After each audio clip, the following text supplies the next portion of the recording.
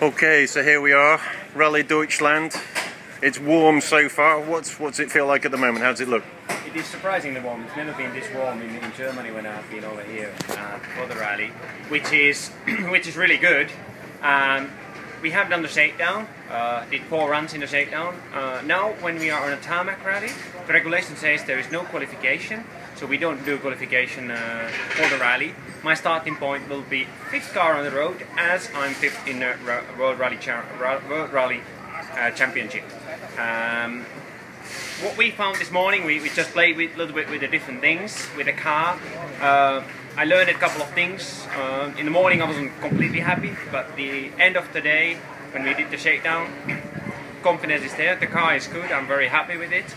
But the weather uh, doesn't look so strong at the moment. Uh, what it looks is, it's gonna be raining, and when it rains here, it can be very, very slippy in places.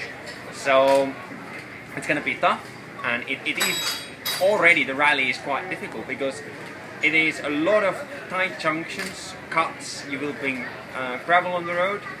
Uh, so when it's extremely slippy there in places, just need to really, really stay calm.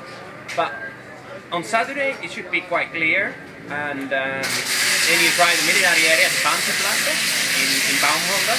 That is my favorite because it's like a rally Finland but on concrete and then you have the big Hinkelsteins on the side of the road so you don't you don't have a chance to go wide, but anyway, you should not go wide.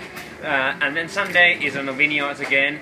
Uh, it's looking again that it's gonna rain on Sunday, so Friday, Sunday will be tough, but Saturday should be quite alright.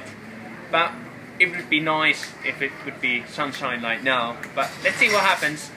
You need to be prepared for everything. So yeah, Rally Deutschland, it's been won, what, eight times out of nine by Mr. Loeb, and he's the master of selecting the right tyres in these changeable weather conditions.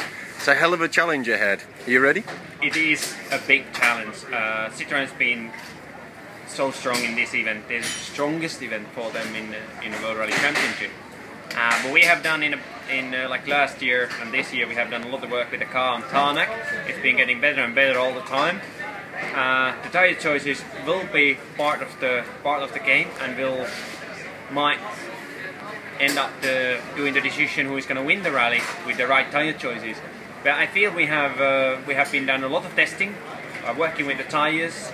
Uh, uh, we have been testing different combinations with the hard and the soft. You you got some wet testing in as well, I think. Yeah, we did in the summer. We did some wet testing, and then now just before the rally, uh, Germany test, we, we had the dry conditions, but we tried combination still with the soft and the hard. So we have two options, soft and the hard. Hard you use when it's uh, when it is um, dry, sunny, and normally soft when it's wet condition.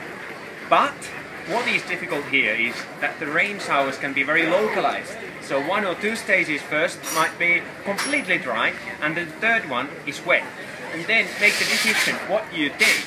That makes it so difficult over here. So that's going to be the strategy for the weekend. Let's see how it all plays out. Good luck. Thank you.